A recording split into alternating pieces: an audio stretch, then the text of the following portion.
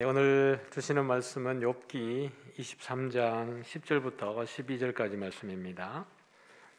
욥기 23장 10절부터 12절까지 구약 784쪽입니다. 세 절이니까요. 우리 같이 한 목소리로 읽어보겠습니다. 같이 읽습니다. 시작.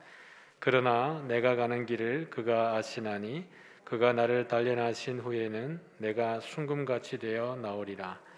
내 발이 그의 걸음을 바로 따랐으며 내가 그의 길을 지켜 치우치지 아니하였고 내가 그의 입술의 명령을 어기지 아니하고 정한 음식보다 그의 입의 말씀을 귀히 여겼도다. 아멘.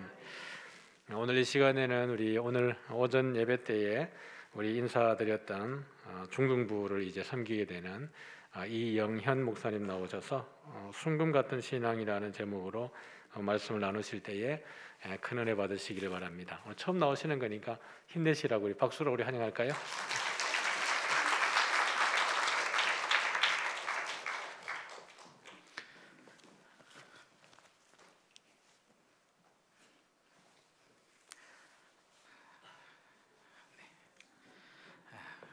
네, 말씀을 전할 수 있도록 네, 기회를 주신 네, 목사님과 당회 분들에게 교육이 너무 감사합니다.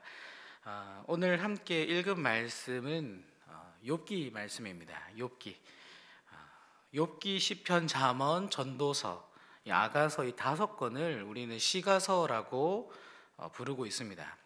왜 시가서라고 부르냐면 글의 형식이 이 시의 형식을 띠고 있기 때문입니다. 그리고 글이 담고 있는 형식으로 내용으로 볼 때에는 어, 지혜서라고 부르고 있습니다. 이 다섯 권의 특징을 보면 어, 구약의 다른 성경들 모세오경 그리고 역사서와 다르게 과거의 역사의 그런 내용을 다루고 있지 않습니다. 또 이사야부터 말라기까지 이 대선지서, 소선지서의 그 내용처럼 미래나 어떤 심판에 대한 예언의 말씀을 다루고 있지 않습니다. 대신 시와 노래 형식을 가지고 반복과 감정의 이 표현을 통해 하나님의 백성들이 오늘 현재를 어떻게 살아가야 하는지를 우리에게 교훈하고 말씀하고 있습니다. 아, 그래서 마치 신약의 이 서신서들을 보는 것처럼 절망과 그 고통 속에 신음하고 있는 그 그리스도인들, 오늘 우리 그리스도인들이 지금을 어떻게 살아가야 하는지를 말씀하고 있습니다. 오늘 본문 우리 욥기 말씀을 읽었는데 이 욥기 말씀은 시가서의 형식을 그대로 특징을 잘 보여주고 있습니다. 음, 먼저 처음 1장, 2장 우리가 읽지는 않았지만 익숙하게 읽었던 말씀들 그리고 마지막 욥기 42장 말씀을 보면 문체가 산문체로 되어져 있습니다. 그리고 3장부터 41장까지의 말씀을 보면 이 운문체의 형식으로 구성되어져 있습니다.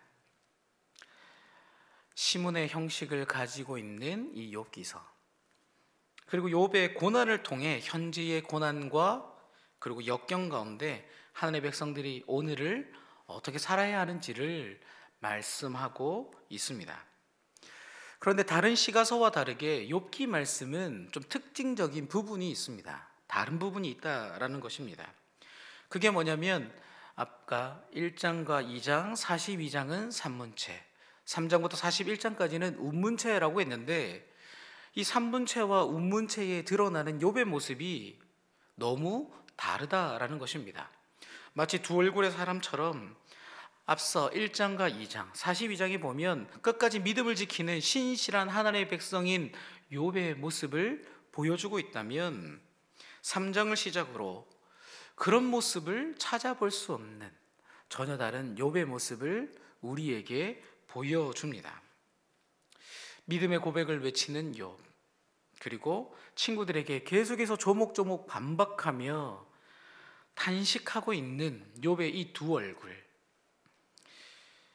과연 그의 진심이 무엇인지 헷갈릴 만큼 다른 모습을 그는 우리에게 보여주고 있습니다. 오늘 이 시간에는 욥의 이중적인 모습에 조금 집중하기를 원합니다. 왜 그는 이중적인 모습을 우리에게 보여주고 있는가? 하나님은 그런 욥을 왜 단련하실 수 밖에 없으셨던 것인가? 과연 욥에게 단련해야 할 것은 무엇인가? 오늘 말씀을 통해 함께 나누도록 하겠습니다. 아, 그렇다면 욥은 어떤 사람인가? 오늘 크게 두 가지로 살펴볼 텐데요. 먼저 첫 번째로 욥은 하나님과의 관계의 신앙보다 신앙의 형식이 더 중요했던 사람이었습니다.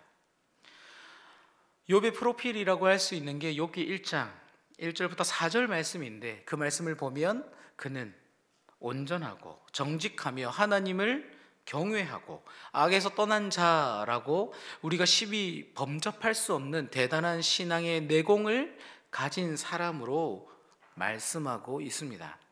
게다가 그가 가진 소유물을 보면 세상의 완전수가 아니라 성경의 완전수인 3, 7, 10.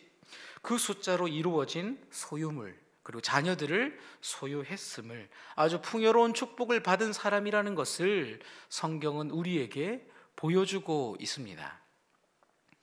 그런데 성경은 그의 이런 모습만 보여주는 것이 아니라 아주 의외의 아주 디테일한 모습까지 보여주고 있습니다. 욥기 1장 5절 말씀이 그 말씀인데요. 제가 읽어드리도록 하겠습니다. 그들이 차례대로 잔치를 끝내면 욥이 그들을 불러다가 성결하게 하되 아침에 일어나서 그들의 명수대로 번제를 드렸으니 이는 욥이 말하기를 혹시 내 아들들이 죄를 범하여 마음으로 하나님을 욕되게 하였을까 함이라. 아멘. 욥은 자녀들이 생일 잔치를 마치면 혹시라도 마음에 죄를 지었을까 봐 하나님을 욕되게 하였을까봐 그들을 불러다가 그들의 일말의 부정함도 용납하지 않기 위해 명수대로 번제를 제사를 드렸다라고 성경은 말씀합니다. 게다가 5절 하반절을 보면 욥의 행위가 늘 이러하였더라. 항상 이러하였다라고 소개하고 있습니다. 이 얘기는 생일 잔치할 때만 이렇게 했다가 아니라 매사에 늘 항상 모든 것이 이러하였다라는 것입니다. 혹시나 마음으로 죄를 지었을까봐, 혹시나 하나님을 욕되게 했을까봐 그는 노심초사 아주 영적인 민감함을 가졌던 사람이었습니다. 그런데 오늘 본문에서 왜 이렇게 욥이 번제에 죄에 민감했는지를 우리는 한번 고민해 보아야 합니다. 그가 완전함을 지키기 위해 자신뿐 아니라 심지어 자녀들의 성결함을 지키기 위해 그는 왜 그렇게 부단히 애를 썼던 것인가?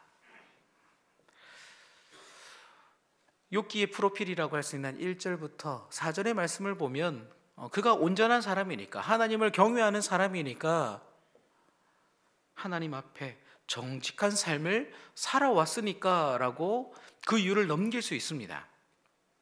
그런데 그렇게만 생각하고 이어지는 3장의 욥을 보면 그 욥의 모습, 그의 또 다른 모습을 이해하는 것이 쉽지 않습니다. 아니 그렇게 대단한 믿음을 가졌던 자가 지금은 왜 이렇게 또 다른 모습을 보여주는 것인가? 이것을 좀 이해하려면 1장 5절 이후에 이어지는 그 모습을 좀 같이 볼 수 있어야 합니다. 1장 5절 이후에 보면 천상의 모습이 이어지고 있습니다. 이 땅에 잘 살아가던 욥이 아니라 그 욥을 바라보던 하나님과 그리고 그를 참소하는 그를 시험하려 하는 사탄의 모습이 이어지고 있습니다. 곧바로 사탄의 시험을 성경은 말씀하고 있습니다. 물론 사탄은 참소하는 자이기에 그의 말이 100% 옳고 정확한 건 아니겠지만 예수님의 시험을 보면 사탄의 시험은 아무렇게나 터, 터무니없이 시험하지를 않습니다. 사탄은 시험할 때에 가장 치명적인 약점을 끄집어내요. 그 부분을 공략하는 치밀함을 가진 자입니다. 사탄은 하나님께 뭐라고 욥을 참소하냐면 욥이 까닭 없이 하나님을 경외하는 것이 아닙니다. 그의 집과 그의 모든 소유물을 하나님이 울타리로 두셨기 때문에 때문에 그가 그렇게 살 수 있었다라는 것입니다. 그를 향한 하나님의 보호, 하나님의 축복. 만약 그것을 다 거두셔서 그의 뼈와 살을 치신다면 그는 틀림없이 하나님을 욕할 것입니다. 그는 사탄은 확신하고 있습니다. 그리고 실제로 사탄이 욥을 욥의 모든 것을 쳤을 때에 그는 욥기 3장 25절, 26절 말씀에서 뭐라고 고백하냐면 내가 두려워하는 그것이 내게 임하고 내가 무서워하는 그것이 내 몸에 미쳤구나. 나에게는 평온도 없고 안일도 없고 휴식도 없고 다만 불안만 있구나. 아멘. 그동안 내가 두려워했던 것이 있었습니다. 내가 무서워했던 그것이 있는데 결국 그게 내게 왔다라는 것입니다. 분명 욥은 하나님을 향한 믿음과 죄에 대한 아주 민첩한 그 영성을 가진 사람이었습니다. 하지만 그의 내면의 깊은 속에는 무엇이 있냐면 혹시나 내 자녀가 죄를 지어서 아니 내 눈이 처녀에게 빠져서 내가 죄를 지을까봐 그래서 내가 그 죄로 인하여 하나님의 진노를 받을까라는 그 두려운 마음이 그에게 있었던 것입니다. 그러니까 내가 죄를 짓지 않기 위해 의무적인 예배, 반복적인 예배를 그는 아주 집착했다라고 볼 수 있습니다. 욥의 마음 가운데 지금 내가 누리는 것을 잃고 싶지 않은 나의 울타리를 놓치고 싶지 않는 마음, 그 바램이 있었습니다. 때문에 그 울타리를 허물지 않기 위해 잘 보수하기 위해 죄를 민감하게 여기고 나의 어떤 행위, 번제의 어떤 노력, 애씀, 그렇지 못할 때 찾아오는 그 두려움 속에 그가 살아갔던 것입니다. 때문에 욥은 자신의 그 울타리들, 재산의 울타리, 생명의 울타리, 자신이 누려던 그 모든 울타리들을 다 잃어버렸을 때에 그것이 하나 둘 무너지자 어떤 모습을 보여주냐면 사랑하는 아내가 여보 그냥 하나님 욕하고 죽으시는 게 더 나을 것 같아요. 그렇게 말할 때 그의 입술은 지킵니다. 하나님을 욕하지는 않습니다. 그런데 늘 해왔던 대로 아내를 위한 번제, 아내를 위한 예배, 아내를 위한 기도, 그 모습은 그에게 찾아볼 수 없습니다. 질그릇 조각으로 자신의 몸을 긁으며 단식하고 있던 그때에 자신을 위로하기 위해 찾아왔던 그 세 친구들이 자신을 맞이했을 때 그가 입을 열어 했던 첫 마디가 뭐냐면 하나님은 살아계심이다가 아니라 자신의 생일을 저주하고 탄식하는 모습이었습니다. 우리가 읽지는 않았지만 오늘 본문 23장 2절 말씀에 보면 욥의 마음은 어떠냐면 반항하는 마음. 근심만이 자신에게 있다라고 오늘 순금 정금을 고백하는 그의 마음이 23장 2절에선 우리가 생각할 수 없는 마음입니다. 그랬던 그가 순금과 같이 단련되어지리라 그 고백처럼 하나님의 다듬으심, 하나님의 그 시험을 통해 단련되어졌을 때에 그는 어떤 모습을 보여주냐면 더 이상 울타리에 얽매이는 신앙의 모습을 보여주지 않습니다. 시험 받은 이후의 욥의 모습을 우리는 물질의 번영, 두 배의 축복을 받은 욥에 집중을 많이 합니다. 그런데 욥의 모습을 보면 이전의 재산의 두 배를 받았을 뿐 달라진 것은 아무것도 없습니다. 그런데 그에겐 더 이상 이전의 모습, 나의 것을 지키기 위해 아등바등 거리는 그런 모습이 없습니다. 자신의 불안함을 달래기 위해 관습처럼 드렸던 제사를 그는 드리지 않습니다. 이제는 어떤 모습이냐? 하나님을 바라보고 하나님과의 깊은 관계 속에 드려지는 예배, 그 기쁨을 누리는 신앙으로 그는 나아가고 있습니다. 관습적인 신앙에서 순금같이 달려되어진 하나님과의 일대일의 그 신앙을 그는 누리게 된 것입니다. 우리도 신앙생활 할 때에 나의 안정감, 이것만큼은 지키고 싶은 것들이 하나, 둘 무너지는 그런 상황을 맞게 될 때가 있습니다. 욥처럼 하나, 둘 무너질 때, 내 삶을 지탱해 주던 그 든든한 벽과 같고 그 보호벽 같은 것들이 허물어질 때, 우리의 마음은 불안하고 두렵습니다. 내 건강이 내 마음 같지 않을 때, 우리는 뜨거운 신앙, 순수한 열정을 잃고 하나님 앞에 점점 식어가는 나 자신의 모습, 형식적인 나의 모습을 보게 됩니다. 이러한 이때에 우리가 기억해야 될 것은 무엇인가? 우리가 잊지 않아야 할 것은 무엇인가? 읽진 않았지만 욥기 23장 3절 말씀처럼 우리는 이렇게 살아갈 수 있어야 합니다. 욥 본문 23장 3절 말씀을 눈으로 한번 보시면 이렇게 욥은 고백합니다. 내가 어찌하면 하나님을 발견하고 그의 처소에 나아가랴. 아멘. 하나님 앞으로 나아가는 신앙, 우리의 예배, 우리의 삶은 이 신앙이 되어야 합니다. 신앙의 형식에만 머무는 그런 신앙이 아니라 하나님과의 깊은 만남의 그 신앙으로 우리는 나아가야 합니다. 하나님 주시는 그 참 기쁨, 그 평안함으로, 그 자유함으로 나아갈 수 있어야 합니다. 이번 한 주간, 아니 지금부터 그 성숙함으로 나아가는 저와 여러분들 다 되시기를 주님의 이름으로 축복합니다. 아멘. 아멘. 두 번째로 욥은 어떤 사람이었는가? 욥은 지금 자신의 처한 상황과는 나는 무관한 사람이다라고 자부했던 자였습니다. 이것을 어떻게 할수 있는가?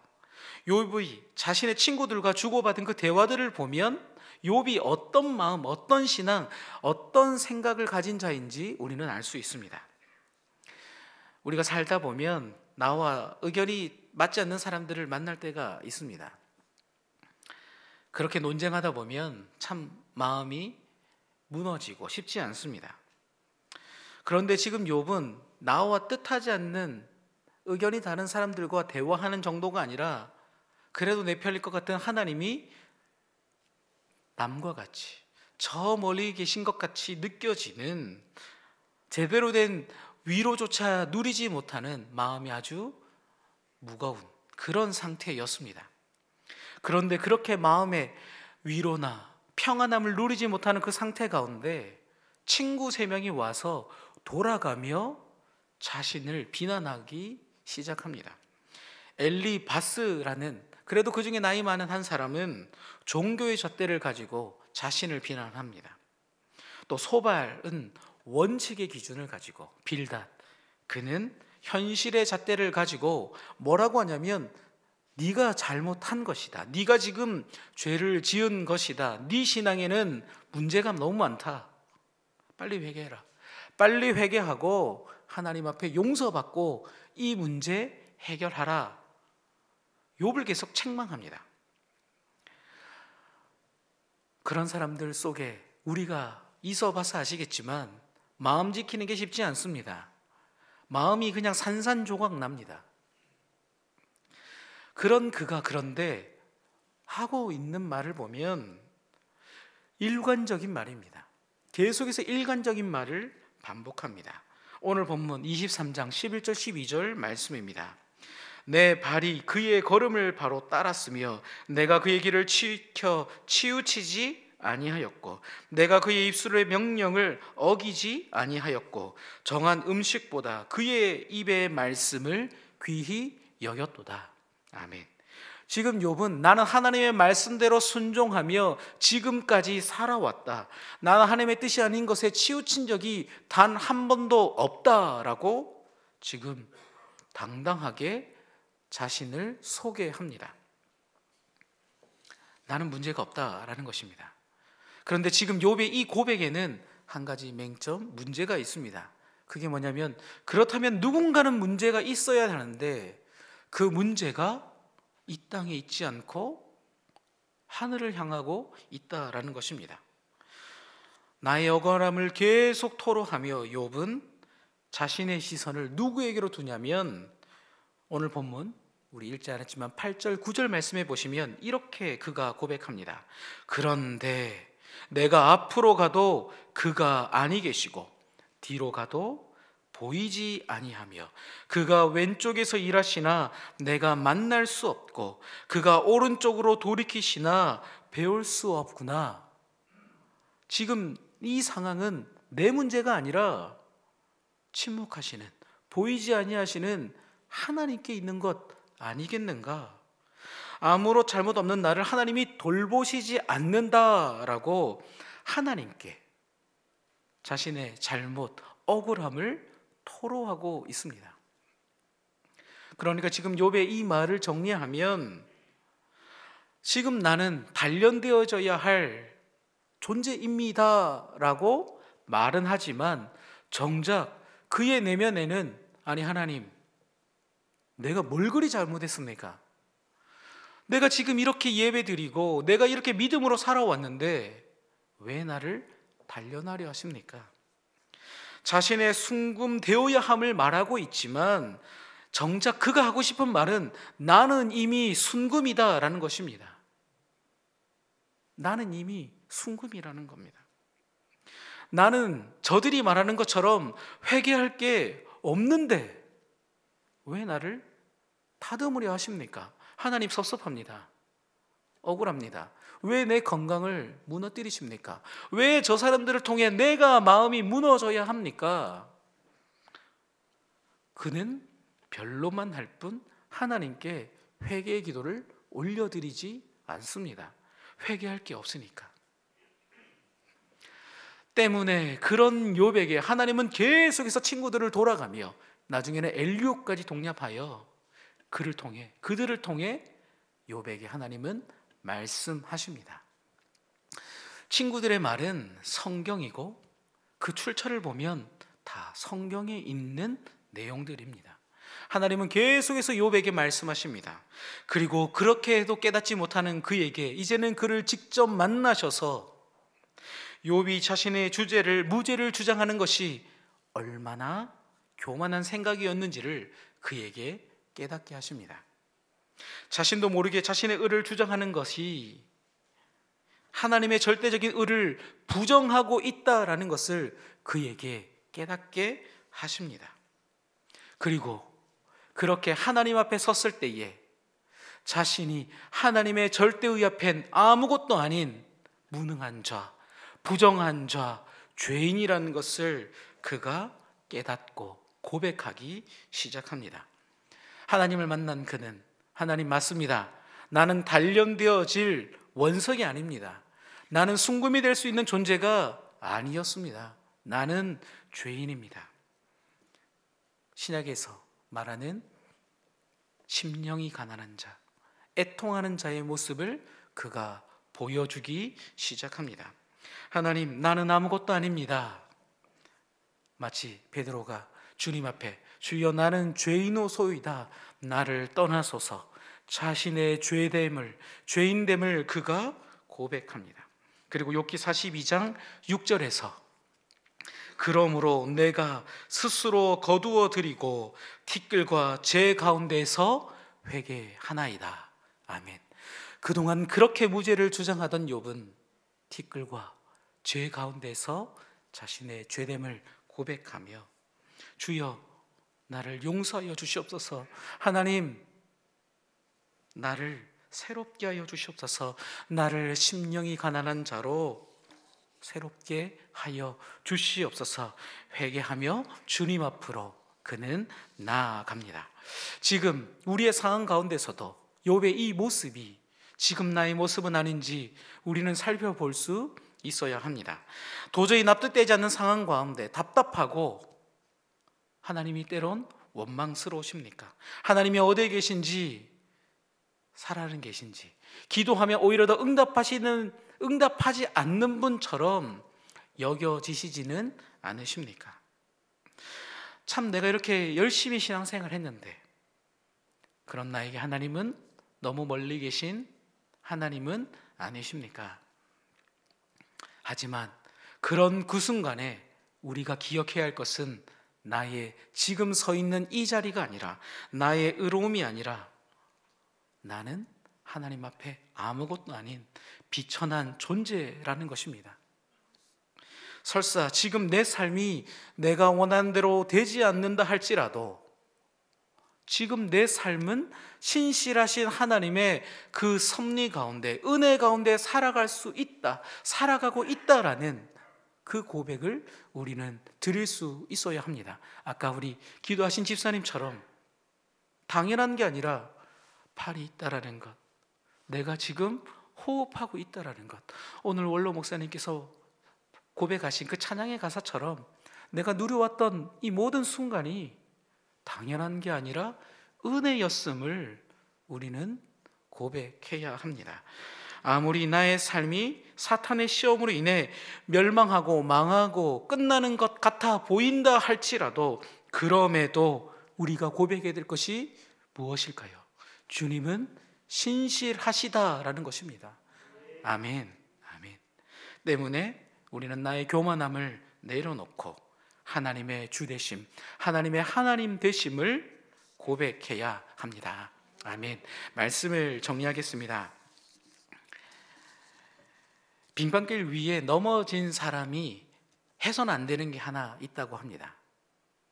그게 뭐냐면 빨리 일어서려고 하는 것입니다. 빨리 일어서려고 하는 것. 빨리 일어서려고 하면 다들 경험해 보셨겠지만 또다시 넘어지고 더 크게 다치기 마련입니다. 믿음으로 살아갈 때에 넘어지지 않으면 좋겠지만 우리는 넘어지게 되어져 있습니다. 내가 참 중직으로 열심히 헌신하고 봉사했는데 하나님 왜 나에게 이런 시련을 허락하시는 걸까? 하나님 지금 과연 어디 계시는 걸까? 나는 왜 이렇게 억울하고 답답한 시간을 보내야만 하는 것일까? 우리는 욕배의 시험과 같은 그런 시간을 만날 수 있습니다. 그런데 그때 우리가 해야 할 것은 나의 인간적인 생각과 나의 방식을 가지고 그 문제를 해결하는 것이 아니라 그 시간을 통하여 하나님은 내게 무엇을 말씀하시는가? 지금 나는 어떤 존재인가? 내가 이 시간을 통하여 무엇을 다듬고 다시 일어서야 하는지를 뒤돌아 보아야 합니다. 에베소 교회 성도들을 향해 그 교회를 향해 주님께서 하신 말씀은 우리 목사님의 말씀을 통해 주님이 다 아십니다. 우리 행함 열정 내가 다 안다. 주님이 다 아십니다. 그런데 첫사랑을 놓치면 안 된다. 우리 인간적인 방법과 생각으로 이렇게 대충대충 빨리빨리 하는 것이 아니라 지금 내가 어디서 떨어졌는지 나의 행위를 뒤돌아보고 내 생각보다 하나님의 생각보다 내 생각이 더 높은 것다면 내 생각을 내려놓고 그 하나님의 뜻을 다시 바라볼 수 있어야 합니다. 오히려 우리는 힘겨운 이 시간을 통해 나도 모르게 자리 잡고 있던 나의 형식적인 신앙을 점검해야 합니다. 소위 소시적에 다들 신앙에 그래도 한 획을 긋고 한 가닥 하시고 내가 난데 아마 다 하셨으리라 생각되어집니다. 그런데 주님 앞에 더 깊은 관계로 나아가려면 내가 난 데가 아니라 주님 오늘도 고백했던 것처럼 아무것도 아닌 나를 사랑해 주셔서 나를 구원해 주셔서 감사합니다. 나의 나됨을 자랑하고 드러내는 것이 아니라 더 겸손히 낮아져 내게 허락하신 그 직분의 자리, 사명의 자리를 우리는 감당해야 합니다. 하나님, 주님의 뜻이라면 내가 이렇게 순종하겠습니다. 우리는 겸손한 마음으로 하나님 앞에, 교회 앞에 내게 주어진 사명의 자리, 가정과 직장의 자리를 감당해야 합니다. 그렇게 하나님만 바라보며 겸손히 엎드릴 때에 우리도 오늘 요배 고백같이 시편 욥기 23편 10절의 말씀처럼 그러나 나를 순금되어 나오게 하실 그 주님을 우리는 고백하게 될 것입니다. 아멘. 오늘 이 시간 겸손히 하나님 앞에 엎드리며 간절히 내게 주어진 그 자리를 사명의 자리를 감당함으로 순금과 같이 주님 앞에 섰을 때에 잘했다 칭찬받는 저와 우리 이삭교회 모든 성도 여러분들 다 되시기를 주님의 이름으로 축복합니다. 아멘.